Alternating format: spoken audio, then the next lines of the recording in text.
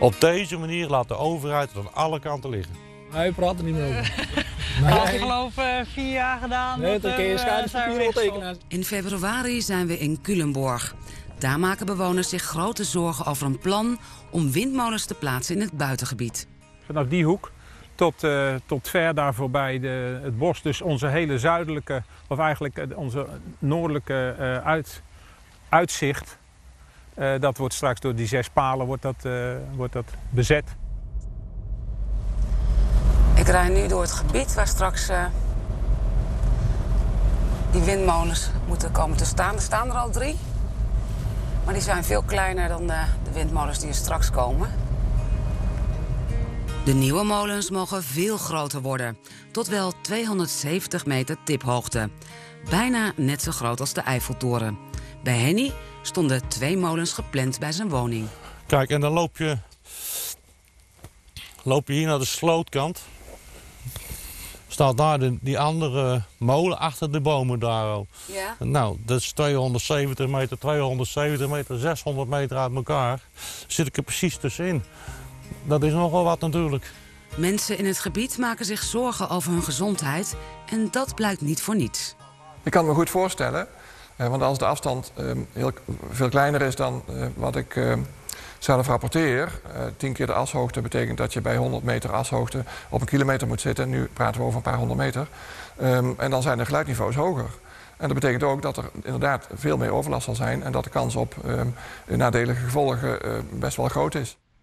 Nadat wij de wethouder ermee confronteren, lijkt hij het serieus te nemen. Wat ik niet zou willen is dat mensen slapeloze nachten hebben of laat staan dat ze ziek worden. Dat zou voor mij echt, dat zou voor mij, dat zou de prijs te hoog zijn. Dus ik ben heel erg bereid om daarmee in gesprek te gaan met die, met die mensen. Maar het moet wel op basis van gegevens die we ook kunnen toetsen eh, aan de wettelijke norm. We zijn inmiddels een half jaar verder en er is veel gebeurd. De gemeente heeft besloten niet meer mee te werken aan het plan. De bouw van de windmolens is van tafel. Maar de zorgen bij Henny zijn niet weg. Henny, half jaar geleden stonden we hier ook. Ja. Ja, verdriet is in een soort blijdschap eh, omgeslagen, in ieder geval voor mij dan. Eh, de gemeenteraad die heeft het plan eigenlijk eh, afgeschoten. Ze vinden het te groot.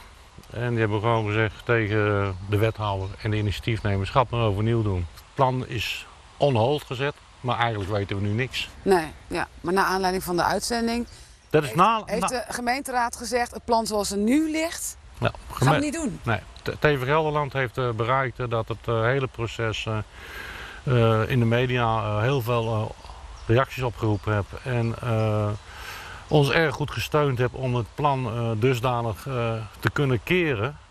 En waarschijnlijk toch wel, hoop ik in ieder geval met de mensen hier, ehm, door eh, de gemeente, de nieuwe gemeenteraadsverkiezingen. En dan zullen we kijken dat de wethouder overeind blijft. Maar jij zegt het vreet nog steeds samen, want we Ja, het verkeren nog altijd in onzekerheid. Ja, de on- onzekerheid is natuurlijk mijn gezondheid. Zeker. Wat gaat hier nou gebeuren? Kan ik hier wel blijven wonen? Ja. En dat is niet alleen voor mij, maar dat is voor alle mensen hier in het gebied. Kijk, landelijk is het natuurlijk eh, ook misschien wel door het media het laatste jaar. eh, is er een kentering met windmolens. Ik bedoel, eh, kunnen we ze wel eh, zoveel gaan plaatsen in die buitengebieden? Want we offeren natuurlijk hele stukken natuur en buitengebieden op.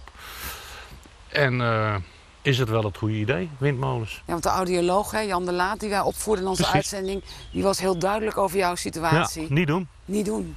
Niet doen. Wanneer verwacht jij meer duidelijkheid? Ik weet het echt niet. Ik weet ook niet of dat wij.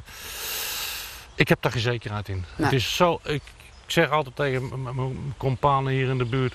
ehm, je komt nooit meer verlos van dit soort eh, trajecten. Want de volgende keer is er weer wat anders. Want eh, we hebben schijnbaar eh, een natuurgebied wat opgeofferd moet worden. aan een of andere dwaze gedachte van windmolens of zonnepanelen. Maar dit plan hebben we in ieder geval van tafel dat hebben we van tafel. hè? Dat is, dan mag ik toch wel, het, dat is wel een eh 1-0 voor. Voorlopig. Alleen ja, eh, wanneer slaat blijdschap om in verdriet? Dat weet ik nog niet. We blijven het volgen. We blijven erop zitten.